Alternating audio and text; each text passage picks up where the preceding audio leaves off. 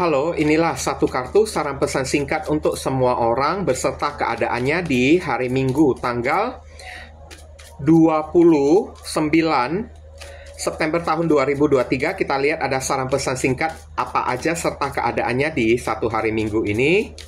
Thank you. Sebentar. Oke, The Star. Wah, ini adalah kartu keberuntungan ya, pemulihan. Ada harapan kamu yang akan ter terwujud. Saya lihat, aminkan ya, saya lihat ya.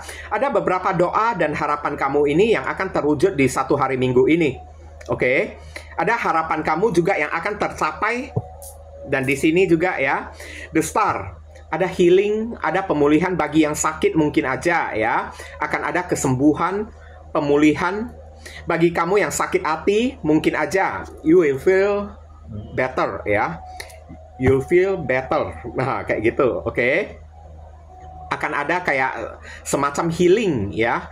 Hari Minggu ini adalah hari yang penuh dengan pencerahan, penuh dengan pemulihan untuk diri kamu.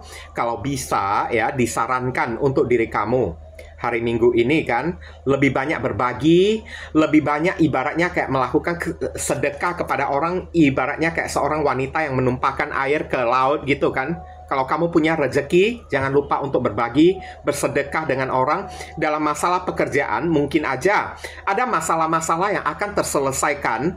Bagi kamu yang sedang memiliki masalah di dalam pekerjaan, ini ada solusi yang akan kamu dapatkan di satu hari minggu ini. Oke, ada sebuah resolusi jalan keluar yang akan kamu terima dan juga ada penyelesaian masalah di dalam pekerjaan kamu tersebut sehingga kamu ini tidak perlu bingung-bingung lagi kayak semacam jalan keluar gitulah ya.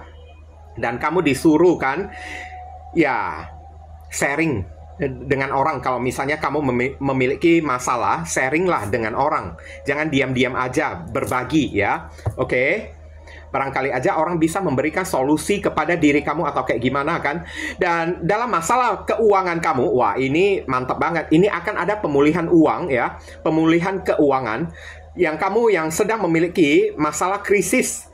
Di dalam masalah keuangan ini akan ada pemulihan di satu hari minggu ini kan? Ada doa-doa kamu yang akan ter, terjawab saya lihat. Mungkin aja kamu akan mendapatkan bantuan kayak atau kayak gimana kayak the star ada harapan kamu yang akan terkabul. Ada uang ada rezeki datang kepada diri kamu dan itu kayaknya re, rezeki nomplok ya saya lihat ya.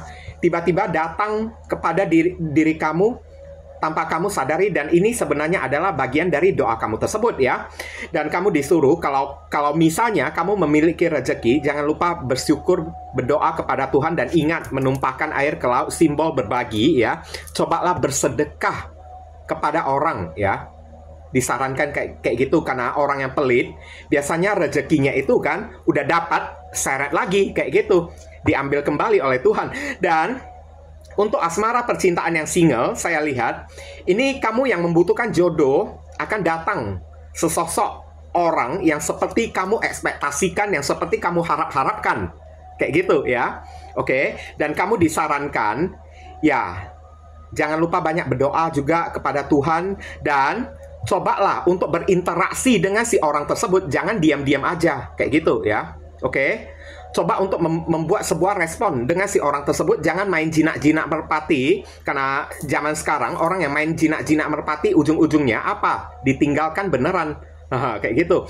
Tapi juga ada tendensi bagi yang single, ada orang mas masa lalu, ada ada mantan kamu yang akan menghubungi di diri kamu, pengen rekonsiliasi dengan diri kamu. Ya, the star di sini ya. Keputusan ada di tangan kamu sendiri, ya, bukan berada di tangan orang.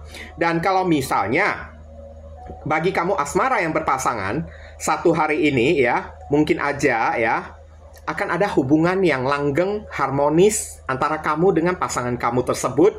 Ada harapan-harapan yang indah dari diri kamu bersama dengan pasangan kamu ini yang akan terwujud mungkin aja satu hari ini bisa lebih romantis, bisa lebih saling terbuka atau kayak gimana, ya disarankan perbanyak waktu quality time together, waktu bersama ya. Oke. Okay?